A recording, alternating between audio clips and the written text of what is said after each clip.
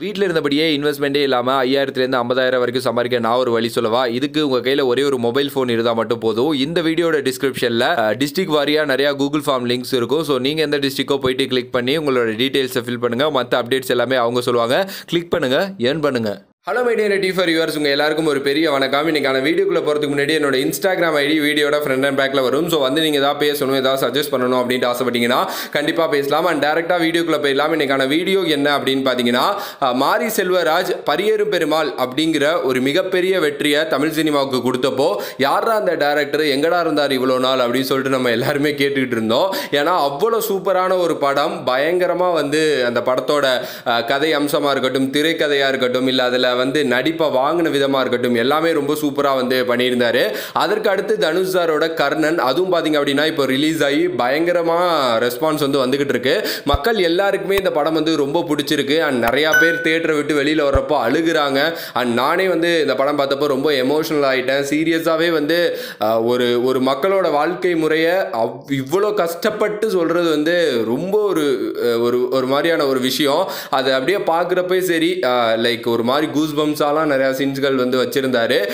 So இப்போ இதனை தொடர்ந்து அவர் வந்து என்ன படம் பண்ண போகிறாரு அப்படிங்கிற டவுட் வந்து உங்கள் எல்லாருக்குள்ளேயுமே இருக்கலாம். அது ஆல்ரெடி தெரிஞ்சது தாங்க துரு விக்ரம் கூட பார்த்தீங்க அப்படின்னா ஒரு படம் வந்து பண்ணுறாரு ஸோ அந்த படத்தில் துரு விக்ரம் வந்து ஒரு கபடி வீரராக நடிக்கிறாரு. அண்ட் அதை தாண்டி பார்த்தீங்க அப்படின்னா அந்த படம் வந்து யாரோ ஒருத்தரோட பயோபிக் அப்படிங்கிற மாதிரி வந்து சொல்கிறாங்க ஸோ அதுவும் வில்லேஜ் சார்ந்த ஒரு படம் தான். கண்டிப்பாக அந்த படமும் வந்து மிக பெருசாக வந்து அவர்கிட்டேருந்து எதிர்பார்க்கப்பட்டுக்கிட்டு இருக்கு. ஓகே இதற்கு அப்புறம் வந்து என்ன படம் பண்ண போகிறாங்க அப்படின்னு சொல்லிட்டு வந்து நம்ம யோசிச்சுட்டு இருக்கிறப்ப தான் வந்து இப்போ ஒரு அப்டேட் கிடச்சிருக்கு. என்ன அப்படின்னு பார்த்தீங்கன்னா மாரி செல்வராஜ் துருவிக்ரம் படத்தை முடிச்சதுக்கப்புறம் தமிழ் சினிமாவோட மிகப்பெரிய நடிகரான நம்ம சூர்யா சாரோட கை கோக்குறாரு அப்படிங்கிற மாதிரி வந்து சொல்லப்படுது.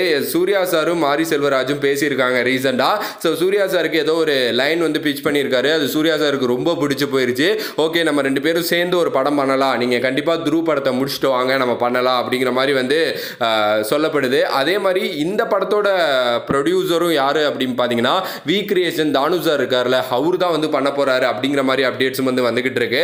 ஸோ இப்போ கர்ணன் அவர் தான் வந்து பண்ணார். அதை தாண்டி சூர்யா சாரோட வாடி வாசல் பார்த்தீங்க அப்படின்னா அவர் தான் வந்து பண்ணுறாரு ஸோ சூர்யா சார் அவரோட லைனப்பும் பார்த்தீங்கன்னா சூப்பராக தான் இருக்குது சூர்யா ஃபார்ட்டி ஷூட்டிங்லாம் போயிட்டுருக்கு. பயங்கரமாக அதோட ஸ்டில்ஸ் எல்லாம் வந்து ரிலீஸ் பண்ணிக்கிட்டே இருக்காங்க. அதே நேரத்தில் அதுக்கு அடுத்தபடியாக வாடி வாசல் வந்து வச்சிருக்கிறாரு. அண்ட் சிவா சார் படம் இருக்குது இப்போ மாரி செல்வராஜ் கூட ஒரு படம் அப்படிங்கிறப்போ வந்து ஒரு பயங்கரமான ஒரு உச்சத்துக்கு வந்து சூர்யா சார் போகிறாரு அப்படின்னு நினைக்கிறேன். ஏன்னா சூரரை போட்டிருக்க அப்புறமே சூர்யா சார் மேலே ஒரு மிகப்பெரிய எதிர்பார்ப்பு வந்து எல்லாரும் மனசுலையும் வந்து வந்துருச்சு.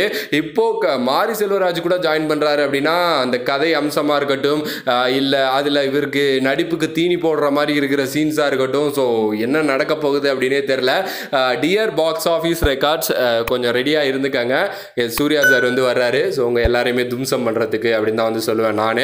ஓகே சூர்யா சார் ஃபேன்ஸுக்கெல்லாம் இந்த ஒரு நியூஸ் வந்து ஒரு மிகப்பெரிய ட்ரீட்டாக தான் வந்து இருக்கும். ஸோ கண்டிப்பாக இந்த வீடியோ பார்க்குற சூர்யா சார் ஃபேன்ஸ் இதை பற்றி என்ன நினைக்கிறீங்க அப்படின்னு சொல்லிட்டு மறக்காமல் கமெண்ட் பாக்ஸில் கமெண்ட் பண்ணுங்கள் வீடியோ பிடிச்சிருந்தா லைக் ஷேர் சப்ஸ்கிரைப் எல்லாமே வந்து பண்ணிடுங்க அண்ட் இதை தாண்டி பார்த்தீங்க அப்படின்னா சிஎஸ்கே விஸ் டெல்லி மேட்ச் இன்றைக்கி நடக்க போகுது. ஸோ அதுக்காக நான் ஒரு ப்ரிடிக்ஷன் வீடியோ போட்டிருக்கேன்.